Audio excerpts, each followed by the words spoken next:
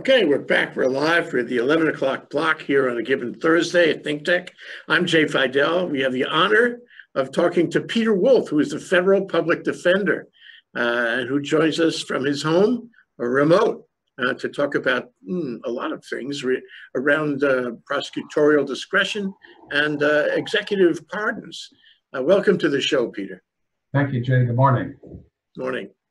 You know, uh, uh, you're actually the perfect guy to discuss this with because you're on the defense side, but you've seen the process go for years and years, and and um, you know you can take a good mm, fifty thousand foot level discussion at it. I mean, a viewpoint at it.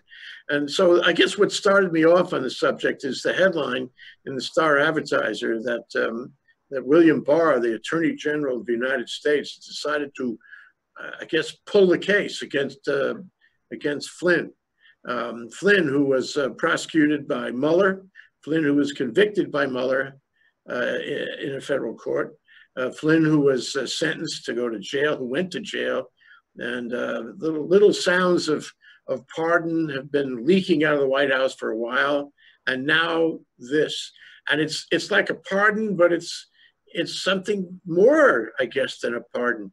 It like wipes the slate clean. Am I right about that?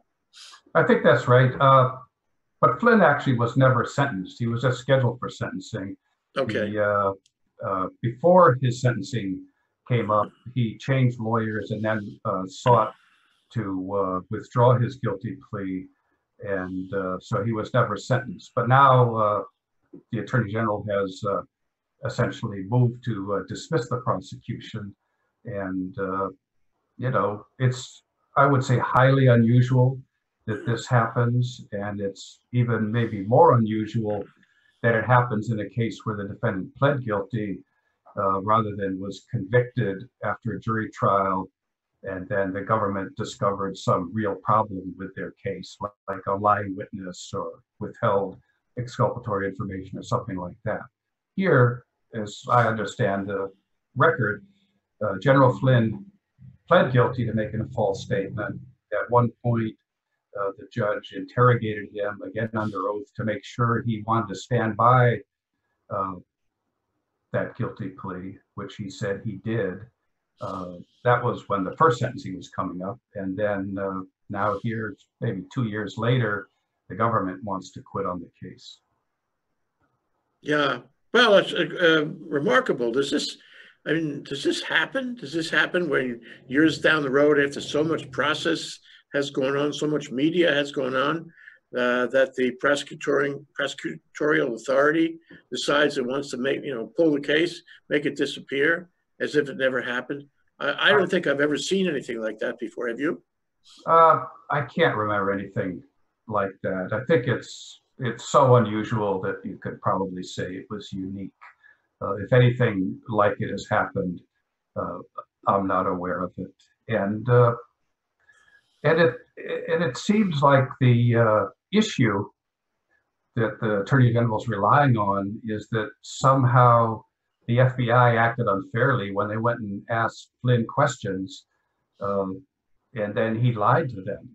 Um, I think it's pretty routine in investigations that if people are decide that they'll be interviewed by an FBI agent, that the agents more or less expect that they're going to lie or hope they're going to lie, and uh, and it and it happens with some frequency. And uh, to then say that it was unfair that the agents acted the way they did, well, maybe it was unfair, except that it's pretty routine that that's what what is part of the interview to give people the opportunity to lie because uh, a lie is almost as good as a confession in terms of convicting you later on. Yeah, uh, I mean, uh, yeah, that's very interesting. So the the other thing that strikes me, and I never did practice in criminal law. I mean, aside when I was in the military, it doesn't count. Um, is this um, usually you you have the the prosecutor with the discretion, and he's out there in the field. He's like the U.S. attorney. Um, now, this is not the U.S. attorney making this decision. This is the attorney general of the state he's levels and layers above any U.S. attorney. They all work for him essentially, um, and I, you know, that makes it even more remarkable, doesn't it? Well, yes. I mean, you know, Flynn was a member of the uh, cabinet. He was uh, national security advisor for a period of maybe about two weeks. So that I think makes him a cabinet level official, although he's not subject to Senate confirmation.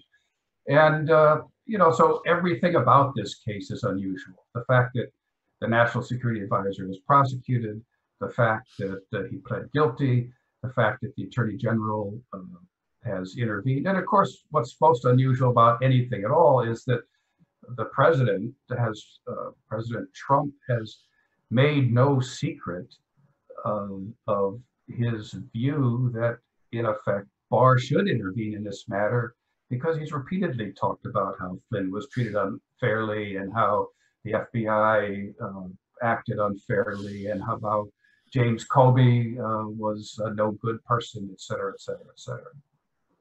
Yeah, what makes it, you know, it, it sounds like the White House has its hands, its fingerprints all over this. Most recently, I saw something in the paper about how the president was considering rehiring Flynn and bringing him back into the White House, which is even more extraordinary. If that happens, that's that's going to be um, right at the end of the tail, uh, one extraordinary step after another. Yeah, I mean, if if I remember correctly, at, on the Supreme Court building, which is, uh, you know, uh, styled after, I think, the Parthenon in Athens. Anyway, a Greek uh, revival building, giant building in Washington, D.C. There's a huge inscription across the front of it, equal justice under law. But uh, I don't think this case would give any American citizen any particular confidence that equal justice under law is actually a real thing, particularly when you're talking about cases in which the president has a particular interest. I mean, to contrast it, there was an article last week or so that Michael Flynn, excuse me, Michael Cohen was going to be uh, released to home confinement because he's in a facility which has quite a few uh, COVID-19 infections and uh, he's, you know, a low risk uh, prisoner, et cetera, et cetera. And all of a sudden it never happened. Um, Cohen was going to be released and then he didn't get released. And then the news articles suggested that President Trump was infuriated by the prospect. So, you know, when you contrast those two things, it could give you some real concern about the notion of uh, disinterested, even-handed justice for uh, high citizens as well as the low citizens. Yeah, and it goes, this goes into the military too, talking about the military. You have two cases that come to mind. One was the uh, deserter case, Ber Bergdahl, uh, Beau Bergdahl, um, who, uh, when uh, the president was was running, uh, he took the position over and over again that Bergdahl sh should, who had not yet been tried, that Bergdahl should be uh, should be um, hung, thrown out of a plane, shot, all these various fatal punishments, um, and he continued to uh, re-endorse that position even after he became president. Unfortunately, that wasn't enough to qualify as command influence, such as to let Bergdahl off the hook. But um, if, if a commander, a, a, true commander in the military had uh, exercised that kind of influence, um, it would have it, it, would have excused Bergdahl simply uh, under the um, manual for courts martial. The well, other one that. Go ahead. Well, I was just going to say that reminded me. I think you could contrast the uh, uh treatment of Captain Crozier of the uh, aircraft carrier Roosevelt versus the uh, president's treatment of, uh, was it, uh, I don't know what his rank was, Mr. Gallagher of the SEAL team, who was actually convicted in a court martial and then and then reinstated or pardoned. Yeah, yeah, yeah. Yeah, I, I was going to mention, yeah, uh, that's another example of the president's uh, fingerprints all over a case that's several tiers down um, for reasons that you know the, the public is not likely to buy, or at least in, in the Gallagher case, uh, the the military legal infrastructure is not likely to buy. I think uh, although you know he courts the military, uh, fact is he lost a lot of support within at least the officer ranks in the military when he did that. But this this comes to that description you mentioned about about confidence, about public confidence. Um, you know, it's, and it's the George Washington statement too. Uh, the true administration of justice is the firmest pillar of good government. And, and, and true administration of justice is really synonymous with public confidence.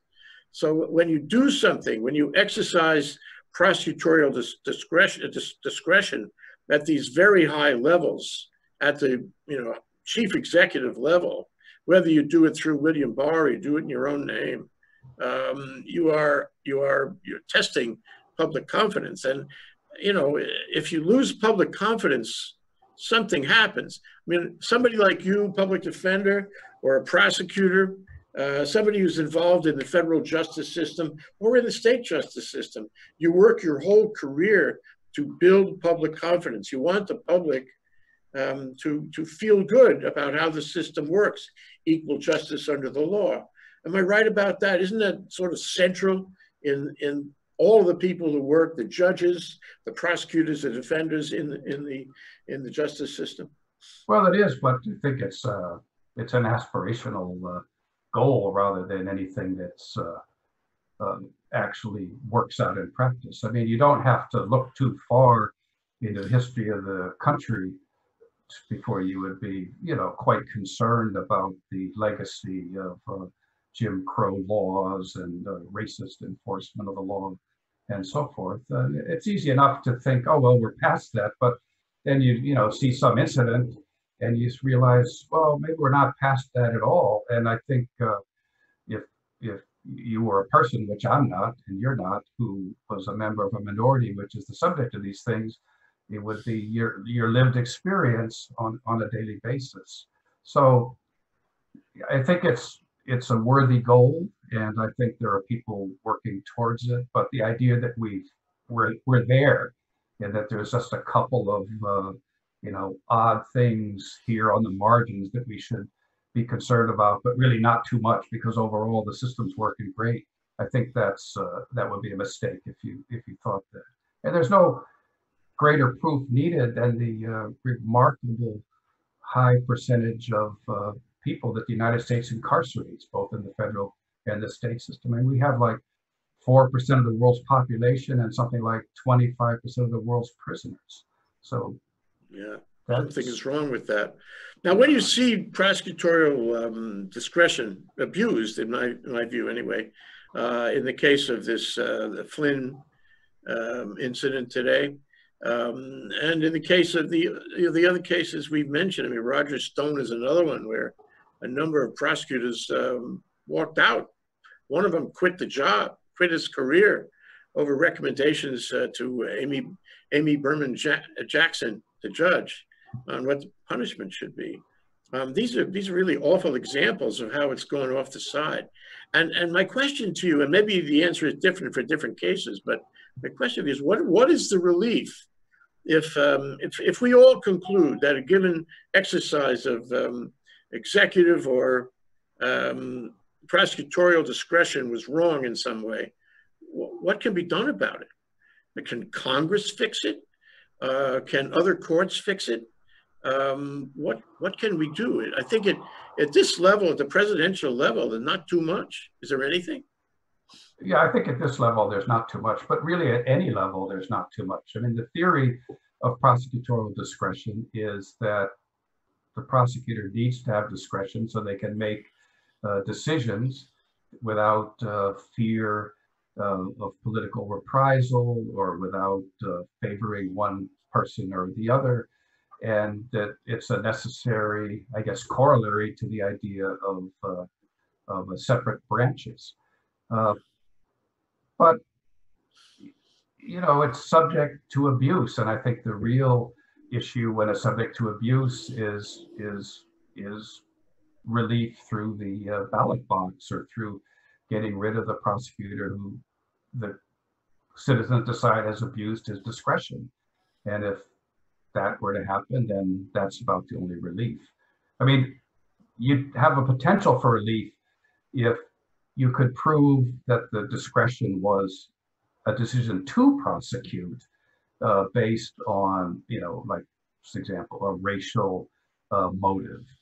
There, the court, if, if that could be proved, could provide relief. But when the exercise of discretion is decision not to prosecute or to end a prosecution, there's really nothing at all that can uh, be done. And, and maybe even that's the right way the law should be. But then you have um, circumstances like uh, this Flynn case, which would give you uh, pause when you're thinking about it.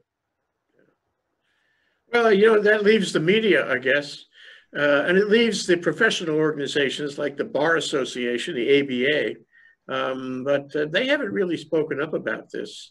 The media have covered it, and with certain, you know, uh, I mean, I believe there's more op-ed going on these days about these issues, but um, you can't do much legally if you're the media, and for that matter, you can't do much uh, if you're the Bar Association. For example, all these uh, right-wing judges that are being appointed and uh, and immediately confirmed uh, the Bar Association doesn't treat them as qualified.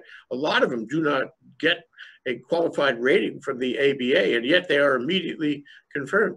Um, you know, even this week, there are a number of appointments that are being confirmed because uh, the Senate came back in, not to work on the coronavirus, but, but to work on uh, con, uh, quick, quick uh, confirmations.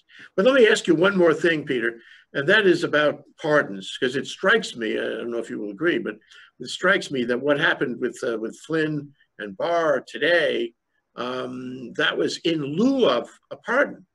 Uh, and in, indeed, there were discussions and rumors and the like that the president was going to pardon him as he has threatened to pardon or rumored to pardon others. Uh, was this a, a, a clever shift of attention from a pardon to a withdrawal of the, of the prosecution? Was there a good reason for it? Does it stand up as a, a, a better a, a, better approach uh, within the federal prosecution prosecutorial system? Well, I think it takes the uh, pressure off the president. Now he doesn't have to pardon Flynn. He expressed his opinion on many occasions that Flynn was treated unfairly. Now Barr says, uh, using my discretion as the chief prosecutor of the United States, and we're going to quit on this uh, case, and and that's that. So it, it does have implications for the pardon power. I mean, the, here's the ironic thing: the pardon power is probably used far too uh, few times rather than too many times. Uh, but there, and, and, you can see it, and you. I mean, the person who, the president who pardoned the most people or commuted their sentences was Obama, but he even pardoned very uh, many fewer people than probably should have been. And we just have these remarkably draconian sentencing laws that have been in effect for 30 years, and, and the effects are felt all across the country. And many states have the same. The problem is, is the people who get pardoned, and, and this is through many administrations, a lot of them seem to be people who were friends of the president or connected to fundraisers for the president, or in state systems, people who uh, uh, are connected to the sitting governor. And the fact that a lot of pardons are issued as on the last day of, in office uh, kind of tells the tale because that means that the interest in doing something about it uh, has to wane because there's nothing you can do about it. So, you know, I think that there's more people that need to be pardoned. I mean, with Trump, you can see people who come to his attention through Kim Kardashian or otherwise those people who aren't politically connected, a few of them, two or three, got a pardon, and they probably deserved it. And uh, on the other hand, it strikes me that there ought to be a better way to identify people who ought to be subject to some executive clemency than, you know, Kim Kardashian had to take an interest in your case because with hundreds of thousands of people in jail, you know, her resources and attention span have to be limited as well. Yeah, and and uh, as with these other uh, approaches, um, a pardon is unchallengeable, and there's nothing you can do if a, if a, a, president decides to pardon or not to pardon. You you can't take him up on it. There's no further authority that could question his his decision process. I mean, for example, in the case of Sheriff Arpaio, I think right. that was Arizona. That was clearly an abuse but there it was. It was a pardon of a fellow who nobody could feel should be pardoned. But there's no way to challenge it except in the press.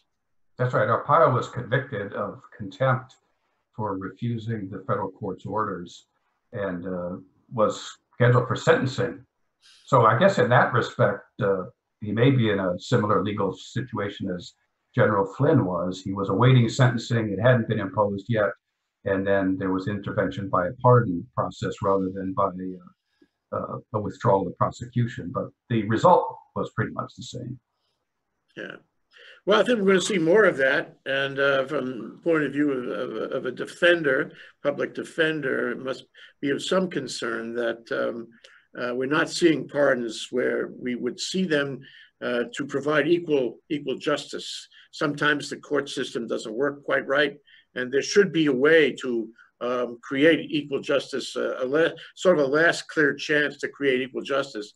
Um, but the executive uh, with the pardon authority has to be um, willing to uh, uh, hear uh, requests for pardons. Does a defender ever make requests for pardons?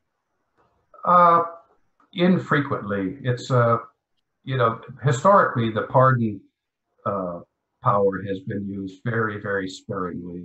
There was an office, or there still is an office of the pardon attorney in the Department of Justice, and they almost never supported a pardon or commutation of sentence. That was one of the issues that I think in the Obama administration that they tried to do something about it to speed up the process a little bit or make it a little uh, uh, more subject to some um, you know flexibility.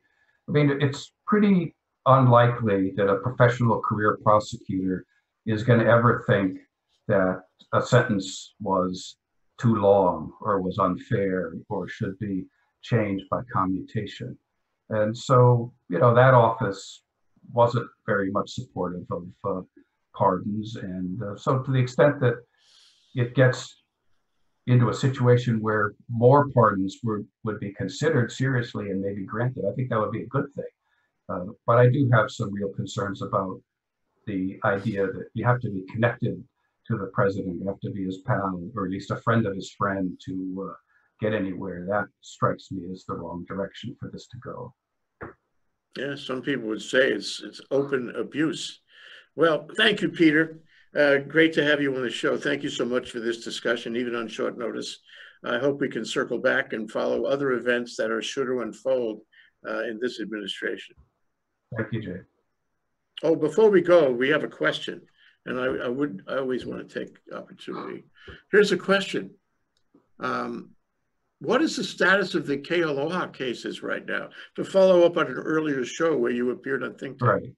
So when the uh, court, the federal court shut down uh, because of the uh, COVID-19 uh, threat, uh, those cases were all continued.